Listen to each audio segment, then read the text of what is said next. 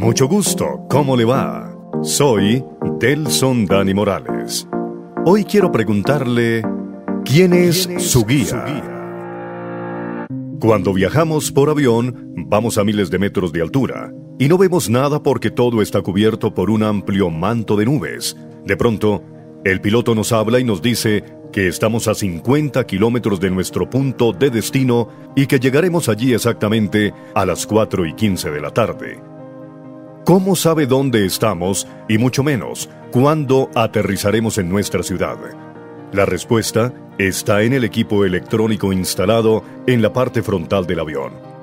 Aquello no es obra de la imaginación, sino auténtica dirección. El hombre precisa siempre de orientación y para lograrlo se sirve de mapas, brújulas y equipos electrónicos. Sin esas herramientas estaría perdido. Lo mismo que necesitamos en la guía física, también lo precisamos en la guía espiritual. Dios no se la provee. Como dijo el poeta, la Biblia es el mapa del viajero, el callado del peregrino, la brújula del piloto, la espada del soldado y la constitución del cristiano. En ella, el paraíso es restaurado, los cielos abiertos y las puertas del infierno desenmascaradas. ¿De qué nos sirve una brújula o un GPS si no lo usamos? ¿De qué nos sirve la Biblia adornando las bibliotecas o sobre los atriles de nuestras casas en altares para atraer buena suerte si no permitimos que ella nos guíe? El mundo va por el camino equivocado. Lo podemos ver en las desigualdades, los abortos, la degeneración sexual, la fractura familiar, en fin, la corrupción de todos los sectores de la sociedad.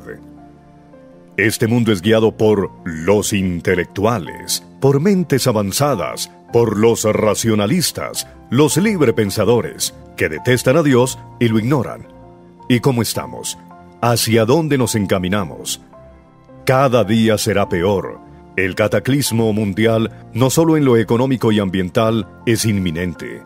La depravación moral impulsada y defendida por nuestros líderes políticos será peor. Ellos son los guías, quienes determinan hacia dónde debe marchar la sociedad. En Mateo 15:14 Jesús dijo, Son ciegos, guías de ciegos, y si un ciego guía a otro ciego, ambos caerán en el hoyo.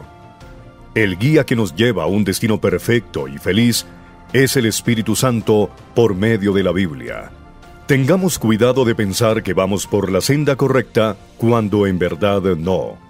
Hay camino que al hombre le parece derecho, pero su fin es camino de muerte. Proverbios 14:12.